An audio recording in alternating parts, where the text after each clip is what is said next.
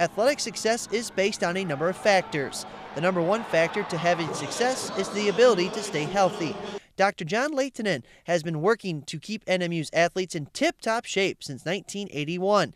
Every August, Lehtinen meets with every athlete on campus to evaluate their current physical condition. They are some of the most appreciative athletes when you're able to help them and uh, assist them to be able to get back in the game and help take care of whatever illness or injury they might experience. Since 1985, Lehtinen has been the chief medical officer and head physician for the NMU Olympic Training Site. He has worked at the Pan American Games and at the Summer Olympic Games on multiple occasions.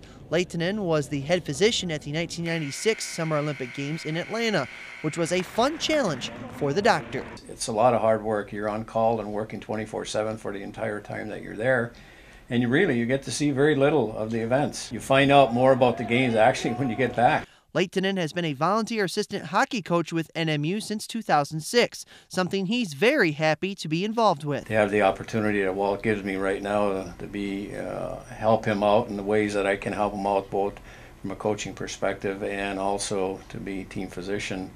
Uh, really is is really what I enjoy doing. He's a real quiet sounding board uh, always gives sound advice. Um, you know, good friend. You know, medically, I think he's brilliant, but I think the other side of him is he. I think he deals with coaches really well and knows the personalities that are around athletics, and he's just an integral part of everything that we do. Lehtinen will be inducted into the NMU Sports Hall of Fame alongside three other former NMU athletes: Tumas Tarkey, Shayna Ojala, and Lindsey Weir. It's certainly an honor, and uh, it's big thanks to those that uh, made that uh, decision that uh, to make that uh, award available to me.